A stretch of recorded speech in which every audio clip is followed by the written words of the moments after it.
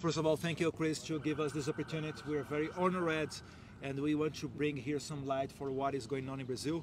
My name is Eduardo Bolsonaro. I'm the most voted ever congressman in the history of Brazil, also son of President Bolsonaro and former chairman of the Foreign Affairs and National Defense Committee. I have always warned in my speeches in the Congress about the dangers of my country turning into a Cuba or Venezuela with their concentration camps. Today, unfortunately, I live in my own movie about, about the Gulag.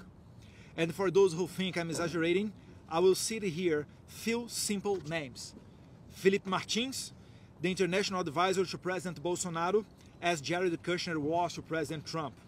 A brilliant young man in his 30s with a promising future imprisoned by an exception tribunal, accused of a coup d'etat never attempted or planet, and without the hope of minimally fair treatment as due process and broad defense no longer exists in Brazil.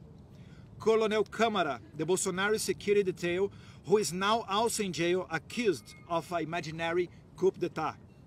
And like them, veterinarians, gospel singers, sign language interpreters, comedians as Bismark Fugazza, and even a homeless and a person diagnosed, diagnosed with a high degree of autism, all of them imprisoned, accused of a coup d'etat. It's very clear that all this oppression and cruelty is just a step towards the ultimate goal to imprison my father, the president who dared to put the interests of Brazilians first. My father is now persecuted and slandered in the most various ways.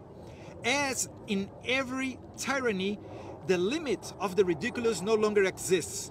And he even faces the accusation of having committed the terrible crime of disturbing a whale. That's not a joke.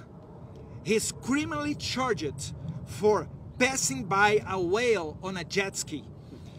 And the most impressionable thing is, thing is the complaint was made by Lula da Silva's environmental minister. This is more ridiculous than what Trump's charge, than what Trump is having uh, as charged here in the United States. My father is also accused of attempt, attempting a coup d'etat when he was no longer president.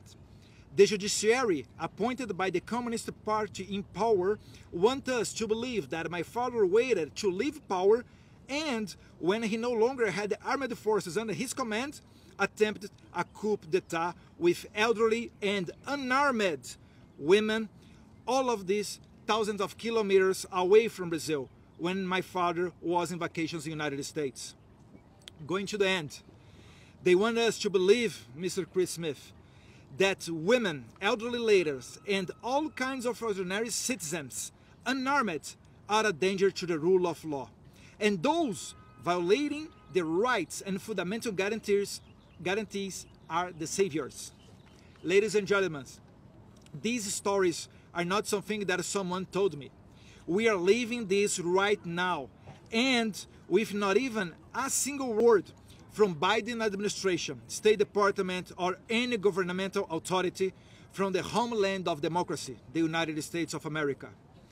The dozen colleagues that are following me here also will talk about terrifying situations. Brazil unfortunately, is not a democracy anymore. Thank you. Thank you very much. Thank you, Mr. Eduardo.